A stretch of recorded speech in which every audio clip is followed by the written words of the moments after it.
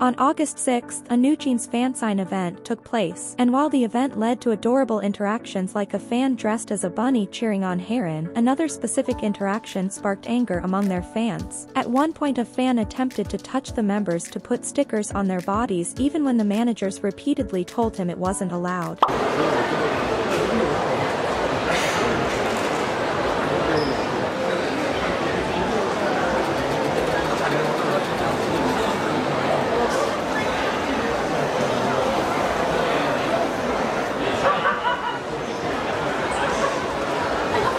In response some netizens shared their frustration and annoyance over the physical contact initiated by the fan. They mentioned that such behavior is not allowed and as a fan he should have avoided making the members uncomfortable. Furthermore others expressed their hope for protective screens to be reinstalled at a future event ensuring better security for the group.